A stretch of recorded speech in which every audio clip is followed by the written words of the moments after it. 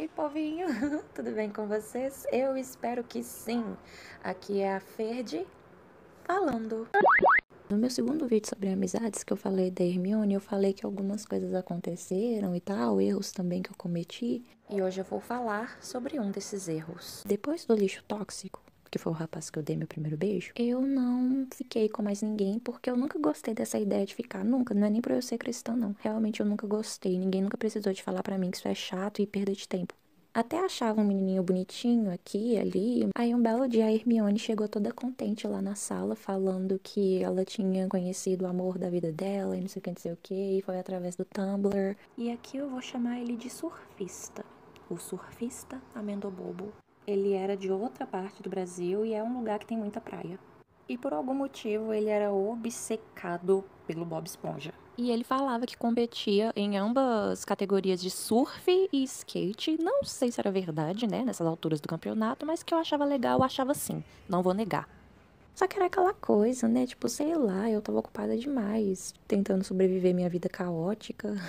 um belo dia eu entrei no Tumblr e eu vi que tinha solicitação desse cara avisei para ela, ela falou: "Não, não fui eu que falei para ele, para ele te seguir, eu mandei o seu Tumblr para ele". Eu falei: "OK, beleza, valeu".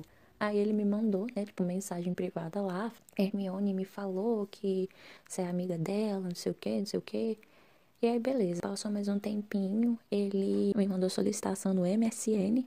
E aí eu falei para ela mais uma vez e ela falou que foi ela que passou né, o meu e-mail para ele, porque ele pediu para ter o meu e-mail lá, no caso dele não conseguisse falar com ela. Ok, né? Problema dele pra lá. E até então ele era 100% apenas amigável. Quase todos os dias ele ligava para Hermione na hora do recreio, até porque eu já não ficava mais com a fofinha e a bonitona, eu ficava 100% integralmente com ela. E embora a gente fazia parte lá dos grupinhos dos roqueirinhos, a maioria das vezes a gente ficava mais era sozinha, assim, pela escola. Um belo dia ela tava conversando com ele, lá no recreio, pelo celular. E aí ela virou e falou, ah, não, tá, tá bom, vou passar pra ela. E eu fiquei, o quê? só falei, tipo, ah, oi, é. Passei o telefone de volta para ela, me sentindo super com vergonha, super sem graça, que esquisito o cara querer falar comigo. E naquele mesmo dia eu entrei no MSN, na mesma hora que eu fiquei online, ele foi lá e me mandou mensagem. E ele nem falou oi, tudo bem, nem nada. Ele só já começou falando que eu era muito bonita, não só bonita, tipo, de rosto, mas eu tinha também uma voz muito sexy. O que é isso?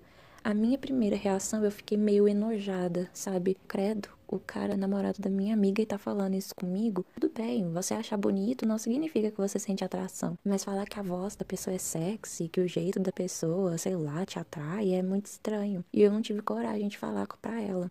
Não é justificando, explicando, né? Contextualizando eu era muito insegura de mim. E eu não sabia nem direito o que, que é ganhar atenção masculina. Minha primeira reação foi ter sentido nojo, mas no fundo eu fiquei assim, caraca, acho que foi a primeira vez que eu senti que algum rapaz gostava de mim de certa forma, me desejava. Até então, quando ele vinha fazendo essas coisas, eu ignorava e mudava de assunto.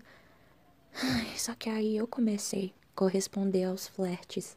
Antes era uma coisa mais meio disfarçada entre nós dois e depois ficou bem escancarado. É claro que a gente fazia isso, né, escondido da Hermione ele mesmo chegou a um momento assim que nós dois paramos e ficamos tipo, nossa, a gente não pode fazer isso, paramos com isso. Nesse meio tempo eu até conheci um outro rapaz no Tumblr. Quando eu comecei a conversar com esse outro rapaz no Tumblr, eu vou chamar aqui de roqueirinho, ele percebeu que ele viu a gente interagindo e ele ficou bem no meu pé, meio querendo voltar a flertar e tudo mais. E aí eu deixei claro que a gente não podia voltar a fazer aquilo, porque foi errado. Foi feio isso que a gente fez nas costas da Hermione. E nesse meio tempo também, quando eu já estava conversando com o roqueirinho, um dia a Hermione me ligou chorando, dizendo que a mãe dela viu conversas dela com o surfista e a mãe dela ficou decepcionada e tal, porque eles conversavam umas coisas bem íntimas. Ela foi proibida de mexer no computador, a mãe dela excluiu todas as redes sociais dela, ela só literalmente mexia no computador para fazer coisa de escola. Nesse meio tempo, o roqueirinho parou de conversar comigo num próximo vídeo eu falo sobre ele. E o surfista meio que aos poucos voltou a conversar comigo. Eu era meio que um pombo correio entre ele e a Hermione. Só que aí, eventualmente, a Hermione ela parou de gostar dele. Ela não quis mais manter contato com ele de forma nenhuma.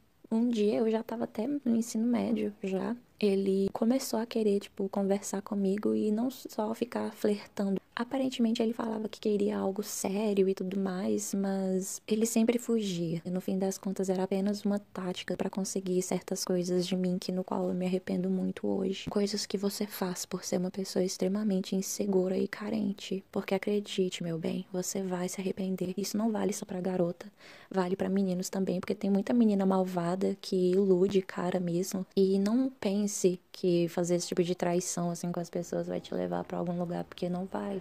Mais do que nunca em toda a minha vida eu tenho nojo, eu tenho pavor de flertar com alguém que não é nada meu. Prometi para mim mesma e prometi para Deus que essa foi a primeira e a última vez na minha vida que eu cometi esse erro horrível. O próximo cara, literalmente, que eu vou flertar vai ser tipo o meu namorado mesmo, que será o meu futuro noivo e meu futuro marido. Então, não deixe a carência nem a insegurança te cegar, sabe? Dê tempo ao tempo. Nós sempre vamos ter arrependimentos. Sempre, sempre, sempre, sempre. Há tipos de arrependimentos que, cara, nós não precisamos carregar eles, nós não precisamos cometer eles. Sábio é aquele que aprende com o erro dos outros. Então, escuta verde, não vale a pena. Não cometa a mesma cagada que eu. Não seja talarica. Não seja insegura. Depois dessa, eu me despeço. Fica com Deus. Um abraço, até a próxima e bye bye.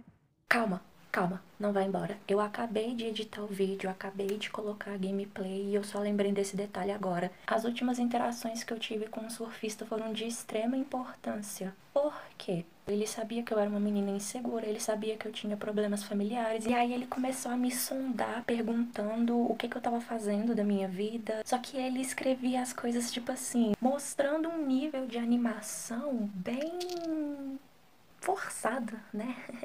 ele tava escrevendo, digitando de forma tão sinistra, tipo, repetindo palavras, e ele colocava letras maiúsculas no, no, meio das letras minúsculas. Naquela época eu ainda tinha um linguajar bem chulo. Uma das coisas que Jesus ele me ajudou a mudar foi o meu linguajar. Eu já falei muito palavrão, já tive muito problema com isso. Eu virei para ele e, e falei assim, cara, desliga esse vibrador. Eu não falaria isso hoje em dia, óbvio. Bem ridículo. Muita gente vai ficar com vergonha, eu sinto muito. Ele ficou. Nossa, vibrador, você quer vibrador, você quer? Quando ele vinha com essas conversinhas assim apelativas e sexuais e eu cortava ele, ele sempre me chamava de imatura. Ele falava que eu não era igual às outras garotas, que eu não era inteligente, que eu não era bonita o suficiente, que eu não deixava ele me conhecer. E eu não vou nem falar que isso é um problema do mundo masculino, porque eu já escutei de rapazes que muitas moças fizeram isso. Então isso é uma coisa muito feia que pessoas inseguras e pervertidas fazem para tentar ganhar coisa de você. Você não é boneca inflável de ninguém. Deus ele deu a nossa sexualidade para ela ser usufruída dentro do casamento por um propósito, e não é simplesmente para procriação de filho. Talvez outro dia eu grave um vídeo falando profundamente sobre isso, ou então, sei lá, vou compartilhando aí vídeos que eu assisto sobre esse tipo de conteúdo, mas enfim, voltando. Nossa, achei que você era mais madura quanto a isso. Olhe para mim, eu sou muito imatura, eu não uso vibrador, eu não fico com conversinhas sexuais desnecessárias com os outros. Meu Deus, como eu sou infantil. Cara, ele ficou super sem graça. Não foi isso que eu quis dizer. Não tô falando nada disso. Nunca mais falei com ele. Já vi muitas meninas principalmente falando sobre isso, se culpando porque o relacionamento acabou. Ah, ele falava que eu era imatura e na maioria esmagadora dos casos é coisa assim. A pessoa queria fazer, né?